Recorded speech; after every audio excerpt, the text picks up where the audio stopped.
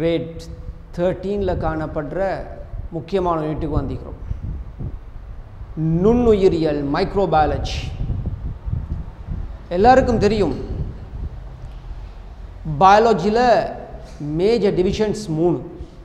Botany zoology microbiology இந்த நுண்ணங்கிகளை பற்றி விஞ்ஞான ரீதியில் கற்கக்கூடிய துறைக்கு பேர் தான் நுண்ணுயிரியல். இந்த நுண்ணுயிரியல்ல நுண்ணங்கிகளை பற்றி கற்கிறோம் என்றால் நுண்ணங்கி என்றால் என்ன? நுண்ணங்கின்றது மனித வெற்றுக்கண்ணுக்கு புலப்படாத மிகச்சிறிய பதிய உடலை கொண்ட ஒரு அங்கி கூட்டம் மிகச்சிறிய உடலை கொண்ட அந்த அங்கிகளுக்கு பேர் நுண்ணங்கிகள். உலகத்தில் ஏராளமான நுண்ணங்கிகள் காணப்படுது. அவை ஏன் வெற்றுக்கண்ணுக்கு புலப்படுதில்லைண்டா? மனித கண்ணினுடைய பிரிவலுவை விட. சைபர் தசம் ஒரு மில்லி மீட்டரை விட அவற்றுடைய பருமன் சின்னதாகிக்குது. அதனால தான் நுண்ணங்கிகளை அளவிடுறதுக்கு மைக்ரோமீட்டர் நெனோமீட்டர் இந்த அலகுகள் பயன்படுத்தப்படுகிறது. நுண்ணங்கிகளோட வாழிடம் உலகத்தில் பொதுவாக எல்லா இடங்கள்லையும் நுண்ணங்கிகள் பறந்து வாழும். கடல்ல தரையில் நன்னீரில் வெப்பநீர் ஊற்றுக்களில் பாலை நிலங்களில் எல்லா இடங்கள்லையும் போல வாழும் விதிவிலக்குன்னு ஒன்று சொன்னான். சுகதேகிகளினுடைய உடலுக்குள்ள வாழாது. ஒரு மனிதன் இதயம் சிறுநீரகம் குருதி அங்கு வாழ முடியாது. அதனால் அப்படியான இடங்களில் நுண்ணங்கி இல்லை. இந்த உலகத்தில் எவைகளெல்லாம் பிரதான நுண்ணங்கி கூட்டங்கள்? இந்த ஸ்லைடில் பார்க்கலாம் உங்களுக்கு. பாக்டீரியாக்கள் ஆக்கியோபாக்டீரியாக்கள் சைனோபாக்டீரியாக்கள் மொலிக்யூட்ஸ் வைரஸுக்கள் வைராய்டுகள் பியான்ஸ் இவைகளெல்லாம் முன்னங்கிகள் இவை எதுவும் வெற்றுக்கண்ணுக்கு புலப்படுற இல்லை. பாக்டீரியாவுக்குரிய பிரகரியோட்டாவுக்குரிய அங்கி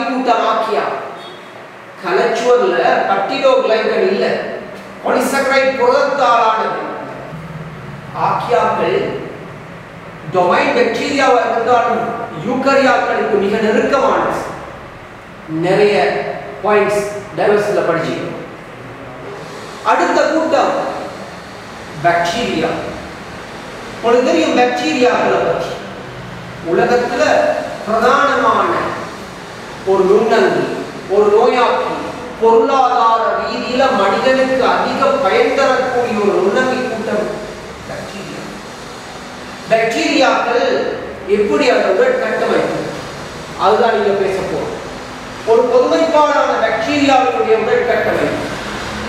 அதிவெளிப்புறமாக ஒரு பப்டிடோ கிளைக்கனாலான ஒரு கலச்சுவர் காணப்படும். இதுதான் அந்த விரைப்பான கலச்சுவர். அந்த கலச்சுவருக்கு உட்புறமாக ஒரு கலமின் சமூகம் அந்த கலமின் சமுகள்ல மடிப்புகள் இருக்கிறது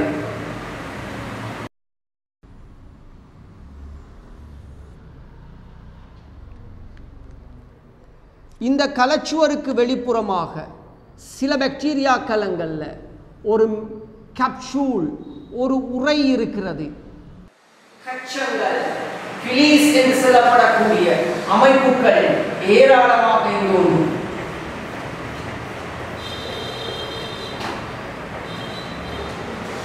நீண்ட பிரகரியோட்டாவினுடைய சவுக்கு முறை ஒத்த சவுக்கு முறைகள் ஒன்றோ ரெண்டோ காணப்படும். உட்புறமான புளிய உருள ஒரு தெளிவான வட்டடி எண்ணெய் மூலக்கூறு புரதமில்லாமல் நியூக்ளியாய்டாக அதில் காணப்படும். இந்த வட்ட டிஎன்ஏ சிறு பகுதிகளாக பிளாஸ்மிட் என்று சொல்லப்படுகிற கட்டமைப்பும் இருக்கிறது.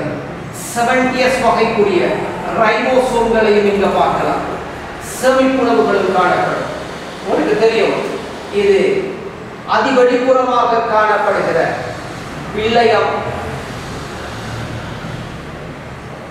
பிரதானமாக பாதுகாப்புக்கான அமைப்பு. இது பிலிஸ் கச்சங்கள் இணைகளுக்கு உதவுகிற ஒரு அமைப்பு. கலச்சுவர்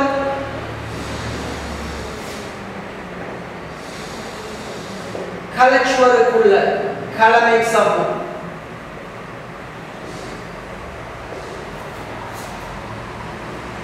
இது பிளாஸ்மிட் பிளாஸ்மிட் சிறிய வட்ட டிஎன்ஏ மூலக்கூறு. ரெட்டிப்படைஞ்சு பெருகும் அல்லது தட்பகற்படையக்கூடிய சின்ன அளவான ஜீனோம் இருக்குது சில முக்கியமான தொழிற்பாடுகளுடன் தொடர்புடையது. இது கலவின் சம்புட மடிப்பாக காணப்படக்கூடிய மீசோசோம். இந்த மீசோசோம் காற்று சுவாசம் செய்யக்கூடிய கட்டமைப்பு. இதுதான் பிரதான புறப்பொருளை பதார்த்தம் வட்ட டிஎன்ஏ மூலக்கூறு.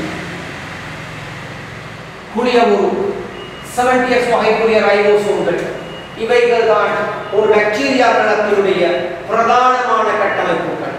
இதுல வில்லையாம் இந்த பிலியன் சிலப்படுற கட்சம் இந்த பிளாஸ்டிக் இந்த சவுக்கு முளை இந்த மீசோசோம் சில பாக்டீரியா கலங்களுக்கு மட்டுமே சொந்தமான ஒளித்தோப்பு செய்யக்கூடிய புரகங்கள் அல்லது ஒளித்தோப்பு மென்தட்டுக்கள்.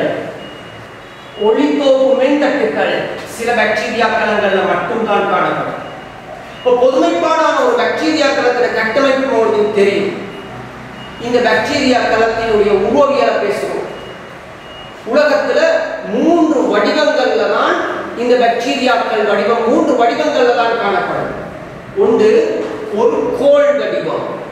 கோள் ஒரு ரோட் அந்த கோள் வடிவமான பாக்டீரியா பசிலஸ் என அழைக்கப்படும் இரண்டாவது ஒரு கோள வடிவம் ஸ்பரிக்கல் ஷேப் இதுக்கு கொக்கஸ் என்று அழைக்கிறோம். மூணாவது ஒரு சுருண்ட வடிவம். அது சுருளி உருவான பாக்டீரியாக்களாக இந்த கொக்கஸும் பஸ்கஸும் தனியாக காணப்படும். ஸ்பிரிலம் எப்பயும் சமுதாயமாக காணப்படாது தனியாக மட்டும்தான் காணப்படும். இப்போ கொக்கஸினுடைய சமுதாய வடிவங்களை தான் பேச போகிறோம் இந்த ஸ்லைடில் உங்களுக்கு தெரியும். தனியாக உண்டா இருந்தால் அதுக்கு பேர் கொக்கஸ் ரெண்டாக இருந்தால் அதுக்கு பேர் டிப்ளோகோக்கஸ் கலங்கள் ஒரு தளத்தில் பிரிவடையும். பிரிவடைந்த கலங்கள் சோடியாக காணப்படுமாக இருந்தால் டிப்ளோகோக்கஸ் அதுக்கு அடுத்தது நீங்கள் பார்க்குறது நாள்கூற்று தொகுதிகளான டெட்ரெட்டுகள் இரு தளத்தில் பிரிந்து நான்கு நான்கு கலங்களாக காணப்படும். அதுக்கு அடுத்தது நீங்கள் பார்க்குறது ஒரு வரிசையில் ஒரு தளத்தில் ஒரு சங்கிலி மாதிரி காணப்படுறது ஸ்டரப்டோகோக்கஸ் இது தவிர எட்டு கலங்கள்ட கூட்டமாக காணப்பட்டா அது சாசினா கொக்கஸ் ஸ்டஃபைலோகொக்கஸ் தான் அடுத்தது. ஒரு பெரிய கூட்டமாக ஒரு கிரேப்ஸ் கொலை மாதிரி நிறைஞ்சி நெருக்கமாக அடுக்கப்பட்டிருந்தால் ஸ்டஃபைலோகொக்கஸ் இதே போல ஒன்று காணப்பட்டால் பெசிலஸை நாங்கள் எடுக்கிறோம். பெசிலஸை நாங்கள் எடுக்கிறோம். பெசிலஸில் ஒன்று காணப்பட்டால் அது பெசிலஸ். ஆனால் இதே பெசிலஸ் இந்த ரோட் ஷேப் ரெண்டாக காணப்பட்டால் அது டிப்ளோபசிலஸ் இதே பல கலங்களாக காணப்பட்டால் அப்படின்டா வரிசையில் அடுக்கப்பட்டிருந்தால் அதுக்கு பெயர் ஸ்டெரப்டோபசிலஸ் அப்போ இது ஒன்றாக இருந்தால் பசிலஸ் இது டிப்ளோபசிலஸ் இது ஸ்டெப்டோபசிலஸ் மூன்றாவது சுருளி வடிவத்தில் மூன்று தனியான வடிவங்கள் இருக்குது. ஒன்று விப்ரியோ. இந்த ஸ்லைடில் பார்க்கலாம். இது விப்ரியோ கொலராவை காட்டுது. கொலரா நோய் உருவாக்குற பாக்டீரியா இது விப்ரியோ. இது ஒரு வடிவம். ரெண்டாவது ஸ்பிலம் என்கிற வடிவம். சுருளி உருவான பாக்டீரியாக்கள் இங்கு இதில் சவுக்கு முளை மீக்குது. மூணாவது ஸ்பைரோகீட் அதை விட சுருளி வடிவம் கூடின கொஞ்சம் மீள்தன்மையுடைய இழுபடக்கூடியதாக இருந்தால் அது ஸ்பைரோகீட் இதுதான் பாக்டீரியாக்களை பொறுத்தவரையில் பிரதானமான அவற்றினுடைய உருவவியல் வடிவங்கள். நான் முக்கியமான பாயிண்ட்ஸை மட்டும் இந்த இடத்துல உங்களுக்கு ஃபாஸ்ட்டாக ஞாபகப்படுத்தி கொண்டு போகிறேன் பாக்டீரியாக்களோட போசனை எப்படி? பாக்டீரியாக்களோட போசனை எடுத்தால் பாக்டீரியாக்கள் நான்கு வகையான போசனையை காட்டும். ஒன்றிகுது பாக்டீரியாக்கள் ஒளி தட்போசணிகளாக காணப்படும். ரெண்டாவது பாக்டீரியாக்கள் ஒளி பிரபோசனிகளாக காணப்படும். மூணாவது ரசாயன தட்போசணிகளாக காணப்படும். நாலாவது உங்களோட எல்லாருக்கும் தெரியும் ரசாயன பிரபோசணி இந்த நாலு வகையான போசனை முறையும் கொண்ட ஒரே அங்கி கூட்டம் பாக்டீரியாக்கள். ஒளி தட்போசனைண்டா சக்தி மூலம் ஒளி கார்பன் மூலம் சிஓ டூ உலகத்தில் இருக்கிற ஊதா கந்தக பாக்டீரியா பச்சை கந்தக பாக்டீரியா இதுக்கு பிரதானமான உதாரணங்கள். ஒளி பிரபோசனை உலகத்தில் இருக்கிற அடிதான போசனை வழக்கங்கள் உண்டு. ஊதக கந்தகமில் பாக்டீரியா இதுக்கு உதாரணம். ரசாயன தட்போசணிகள் இது கீமோ ஹாட்டோட்ராப் மிக முக்கியமானது. சக்தி மூலமாக அசேதன ரசாயன பொருட்கள் தான் இருக்கும். ஆனால் கார்பன் மூலம் பொதுவாக தட்போசனை என்பதால் சிஓ டூ அசேதன கார்பன் ஃபேமஸான எக்ஸாம்பிள் நைட்ரோபாக்டர் நைட்ரோசோமோனாஸ் இப்படியான அங்கிகள் நைட்ரஜன் வட்டத்தோடு சம்பந்தப்பட்டது. அதே சந்தர்ப்பத்தில் தயோபாஸ்லஸ் தயோக்சிடென்ட்ஸ் போன்ற அங்கேயும் இந்த ரசாயன தட்போசனையாக வரும். நாலாவது இரசாயன பிரபோசனை என்ற கூட்டம்.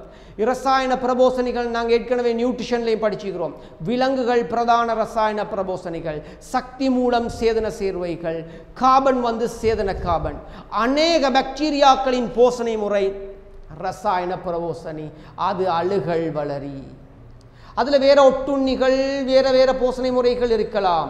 ஆனால் பாக்டீரியாக்களோட பிரதான போசனை முறை ரசாயன பிரபோசனை அதில் அழுகல் வளரிகள் தான் கூட.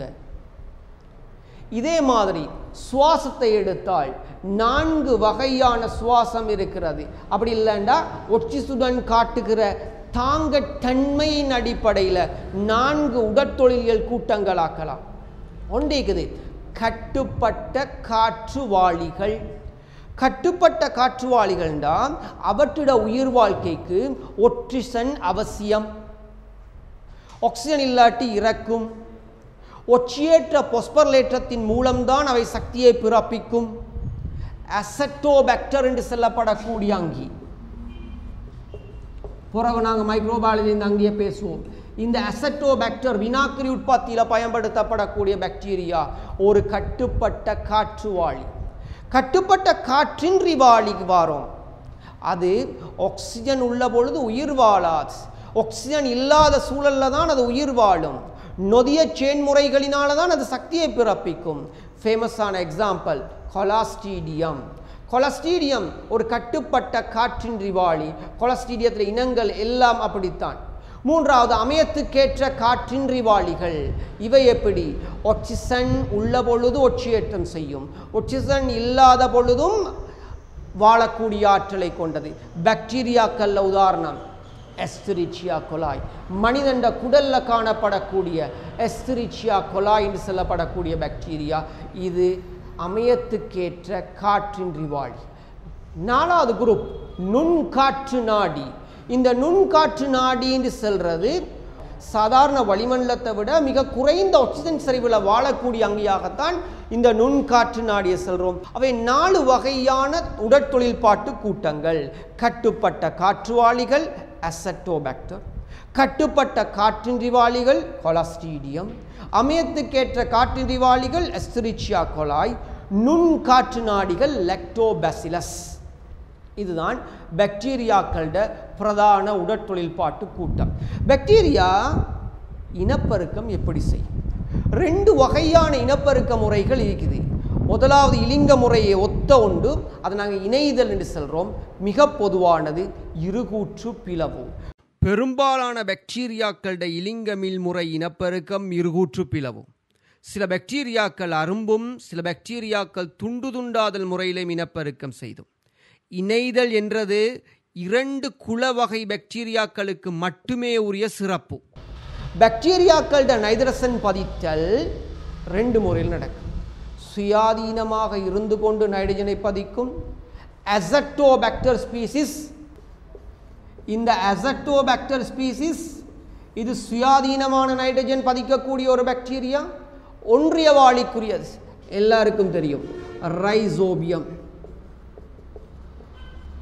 இந்த ரைசோபியம் அவரை குடும்ப தாவர வேர்க்கணுக்கள்ல காணப்பட்டு இந்த லெகுமினேசியே இந்த லெக்யூம்ஸில் காணப்பட்டு வளிமண்டல நைதரசனை அது பதிக்கும். அவை ரெண்டு வகைகளில் இது நைட்ரஜனையும் பதிக்கும். நாங்கள் பேசினது பாக்டீரியா.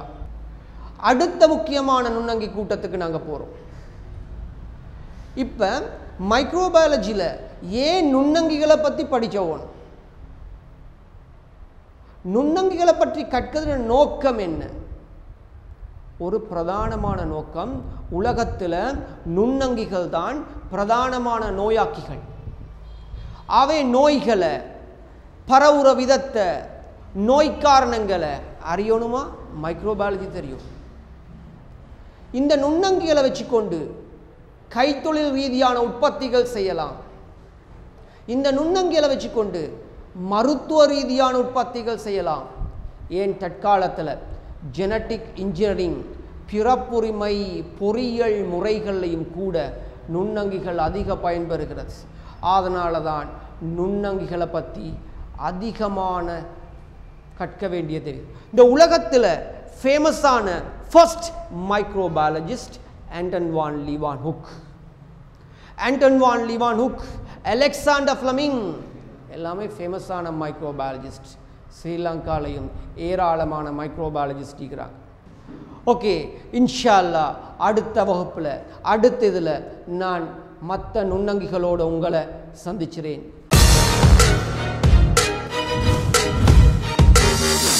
எங்களுடன் இணைஞ்சிருங்க உயிரியலில் ஏ எடுக்கிறதுக்கு இது உத்தரவாதம். பிரபல உயிரியல் ஆசிரியர் எச் எம் எம் சகிலுடன்.